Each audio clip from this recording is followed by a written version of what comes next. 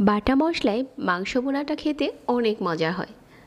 আজকে বাটা মশলায় এই ভুনা মাংসটা শেয়ার করছি। আর এখানে কিছু আস্ত মশলা নিয়ে নিচ্ছি।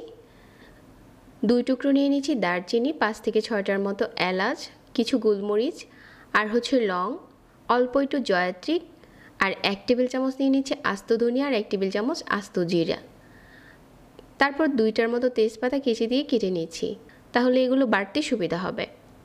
তারপর একটা বাটিতে নিয়ে একটু পানি দিয়ে ভিজিয়ে রাখছি পাঁচ মিনিটের মতো। পাঁচ মিনিট পর ব্লেন্ডারে দিয়ে মশলাটাকে ভালো করে পেস্ট করে নিয়েছি। এই পর্যায়ে চাইলে কিন্তু শিলপাটায়ও বাটা যাবে। আজকের ভুনা মাংস রান্নার জন্য আমি এখানে দেড় কেজি গরুর মাংস নিয়েছি। দুই টেবিল চামচ দিয়ে দিচ্ছি আদা বাটা। এক টেবিল চামচ রসুন বাটা। যে মশলাটা বেটে নিয়েছিলাম ওইটা দিয়ে দিচ্ছি আর হাফ চা চামচ দিয়ে দিলাম হলুদ গুঁড়া। এক কাপ পেঁয়াজ কুচি। হাফ কাপ নিয়ে নিচ্ছি রান্নার তেল। আর লবণ দিয়ে দিচ্ছি এক চা চামচ। এখন এই সবগুলো মশলার সাথে মাংসটাকে নেড়ে চেড়ে ভালো করে মিশিয়ে নিচ্ছি। মাংস মেশানোর কাজটা একটু ধৈর্য সহকারে করবেন। তো মিশিয়ে নেওয়া হয়ে গেছে। আর ঢাকনা দিয়ে ঢেকে এক ঘণ্টার মতো রেস্টে দিয়ে দিচ্ছি। এক ঘণ্টা পর এই মাংসের পাত্রটাকে আমি চুলাতে বসিয়ে দিচ্ছি। আর মিডিয়াম মাঝে কষিয়ে নিলে দেখা যাবে যে পানি উঠতে শুরু করেছে। প্রথমে এরকম পানি উঠেছে, তো আমি হচ্ছে মাংসটাকে এপাশ ওপাশ করে নেড়ে দিচ্ছি। তারপর আবারও ঢেকে দিচ্ছি। এই বোনা মাংসে কোনো রকম পানি দিতে হবে না।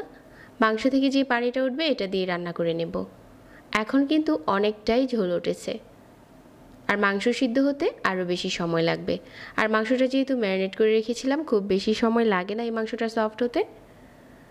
তো এভাবে করে বেশ কিছুক্ষণ কষিয়ে রান্না করে নিয়েছি। আর আমাদের মাংস বোনা এখন রান্না করা প্রায় শেষের দিকে। এখন যদি এখানে চান অল্প একটু গরম মশলার গুঁড়ো দিতে পারেন, তবে দরকার নেই। এমনিতেই এটা টেস্ট ভালো আসে। এখন আমি পাঁচ ছটার মতো কাঁচামরিচ দিয়ে দিলাম আর এক চা চামচ দিয়ে দিলাম ঘি। এখন এই বোনা মাংসটা চুলা থেকে নামিয়ে নিচ্ছি।